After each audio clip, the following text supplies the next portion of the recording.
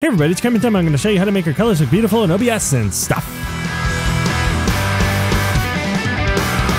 Now if you're here and you just want the TLDR of how to make your colors look better in OBS and you just want the quick guide, download the things and then you want to explore it yourself, here's how you can do that. First, we're going to go and download OBS shader filter. That's going to be necessary for this. So we're going to go ahead and download that. And then we're going to go into my personal OBS shader that I created for this, the HSL HSV saturation shader. Hey, Future Tim here. Uh, after recording the video, Exeldro did this. He put this thing that I just mentioned into his official release of Shader Filter. So when you download Shader Filter, you should have it. There you go back to the video.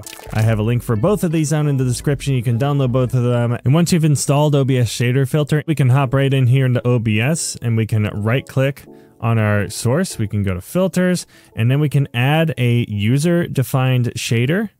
And so we once we do that, we can go to browse and then select our HSL HSV saturation shader and hit open. And then once we do that, we have our parameters that we're able to adjust here. We have saturation and HSV saturation, and then which order that you want them to be in. So we can go and turn it on, and then we can play around with these and see what happens. And that's how you use it. And typically, if you're just looking to add saturation, you'll usually go with just this HSV saturation knob and push that. But if you want to learn exactly how these work, stick around and I'll explain these things in detail. And if you are sticking around, I would highly encourage you to download these color curves and three axis color correction scripts as well, which are also linked in the description and I can show you how to install those. As soon as you download them, you can go right back into OBS here. And if you go up to tools, hit scripts, you can add them with this plus button and navigate to where you have them downloaded or where you have them put and go ahead and just add them and open them and then they will show up as filters for any source. Now in order to go through this further we have to understand what is saturation. We normally think of saturation as how vivid a color is.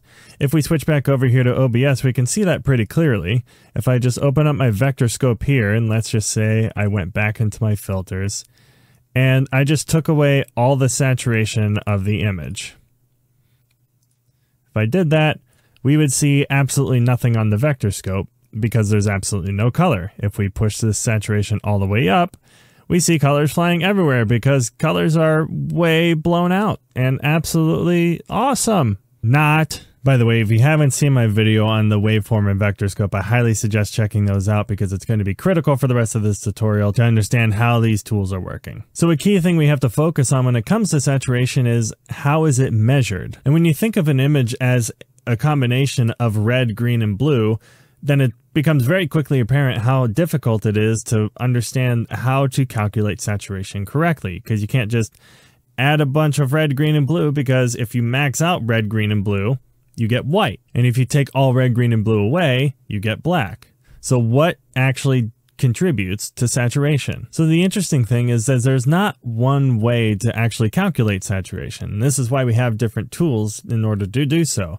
In Resolve, we have the saturation knob, we have the color boost knob, we have HSL, we have HSV, we have other ways of calculating different types of color. There's so many different ways. But the most simplistic description of how we are used to seeing saturation adjusted is we're making the most vivid pixels more vivid. But the problem is that this is usually not the most desirable method. If I go back to OBS over here, I'm going to go ahead and I'm just going to throw on a transformation here. This is going to take this from a log image that you see right here on the screen into this. So this is just basically an F-Log Direct 709 transformation.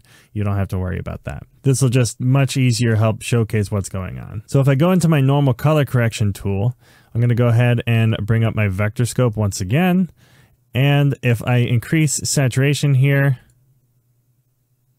it would help if I turned it on. We can see really what it's doing is just pushing pixels that are the farthest out even farther out. It's almost like a gain adjustment of sorts. But as you can see, it doesn't take long before colors start to look really mushy. And just very videoy and it doesn't look clean at all. So what I've done is I've actually created a shader that actually uses the HSL and HSV color spaces. Now, what exactly is HSL and HSV? You can probably guess what the first two letters in either of them stand for, which would be hue and saturation. The difference is that third value, which is lightness or luminance and value, respectively. And that third value changes how saturation is measured in each of them. So without getting too technical on how these differ, in HSL, the L for luminance, when it's 0%, it is black. When it's 50%, it's full color. When it's 100%, it's white. In HSV, however, the V for value describes the brightness of the color. 0% is black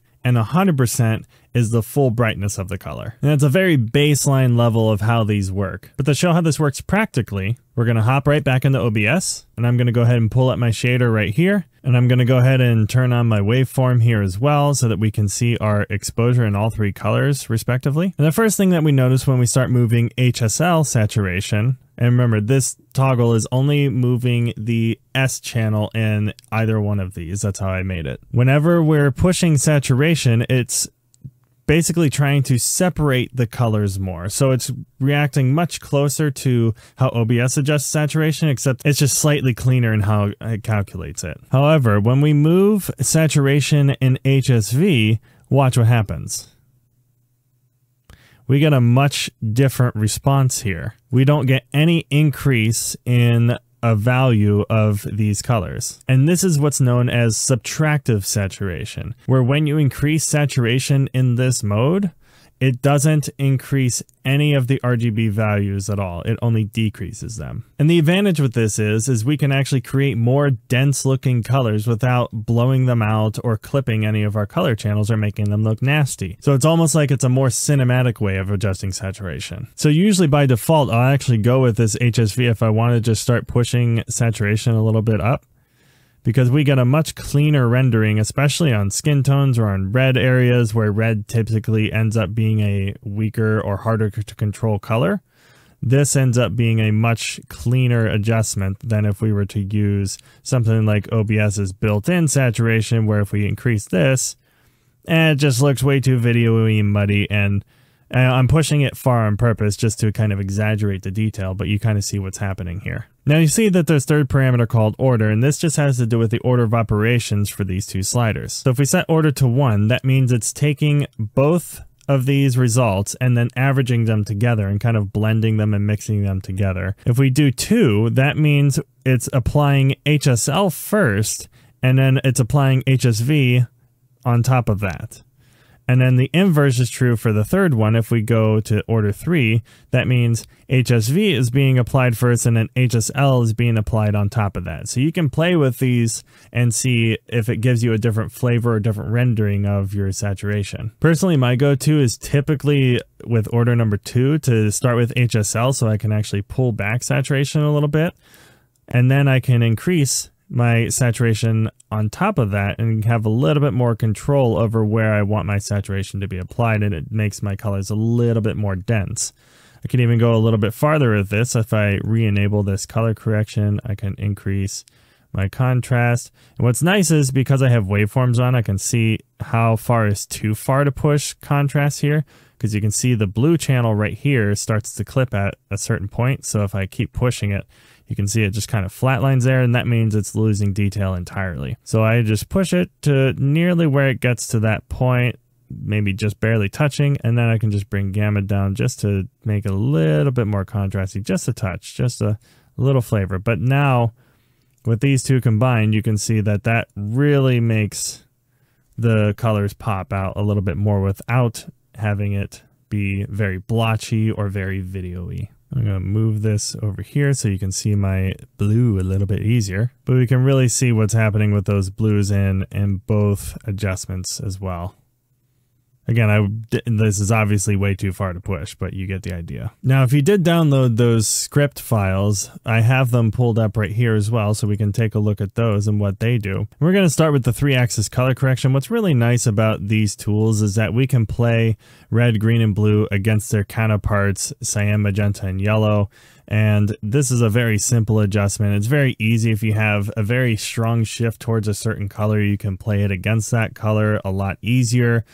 So we can actually watch our vector scope. If we push towards red, everything pushes towards red. If we push towards cyan, it goes towards cyan.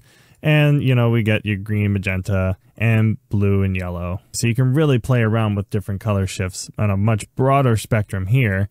Lumen Adjust is basically just an entire offset. I really don't use this that much or pretty much at all, but it's there if you want it. Now color curves is interesting because it's basically the three axis color correction on steroids. So it's like nine axis color correction. And essentially how this works is we can pull up this graph here and I'm actually just going to go ahead and turn off my waveform vector scope here so we can easily see this line. And I'm going to just, I'm going to max out my high point and bring my shadow point all the way down because that typically has the most clean results. But what we can do here is we can actually specify what area we actually want to play red, green, and blue against in each point. So we can play it in the high end. So I can push red, green, and blue in the high end. And then in our shadows, we can, let's say we want to go like a cyan type of look and let's push just a little towards that. So we can we can watch how much we're pushing red, green, and blue in any given space from left to right, left being black, right being white, and everything in between is just pushing the image in a different direction. So I can really emphasize some of this red and green up here. And just a little before and after, we can turn the graph off too. Now we got like a, you know, that teal and orange look that everybody craves about because that's a lot. And then I'm going to turn on my waveform right here just so we can see exactly what preserve luminance does. But if I turn preserve luminance on, that means whenever I adjust any color, it's going to move the other colors respectively to compensate so it keeps the luminance the same as opposed to if I turn preserve luma off that means it's only adjusting that one color. You can see if I'm moving the high end of cyan red only red moves. And if I do the same thing with magenta green only the green channel moves. Same thing with blue only the blue one moves. And if I hit preserve luma then we can see all three of them move in some sort of way to compensate for luminance. And there also is a saturation limiter here, but it seems to be like a hard cutoff rather than a smooth adjustment or an amount of how much saturation you want to add. So I probably wouldn't really adjust this. I would just keep it at max and adjust everything as is here. These are definitely really fun tools to play with and can change the look of your stream drastically and aren't exclusive to webcams at all. As you can probably see, you can use this for gameplay. You can use these for whatever you want. But hopefully you understand how these tools work a little bit better and it can really shape your OBS in a way you haven't been able to before. If you have any questions on how any of these tools work, please leave a comment. Hit that. There's a bell. Where'd it go? Oh, there it is. Sorry, that scared me. There will definitely be more OBS tutorials coming out in the future, as well as some more DaVinci Resolve tutorials coming up really soon as well. But speaking of OBS tutorials, remember the color monitor the thing I mentioned earlier? Click it! It's right there! Look, it just showed up. I pointed at it and it just appeared. So you have to click it now because I'm going to go by. I'm signing out!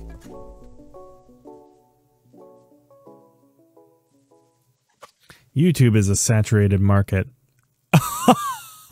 See what I did there?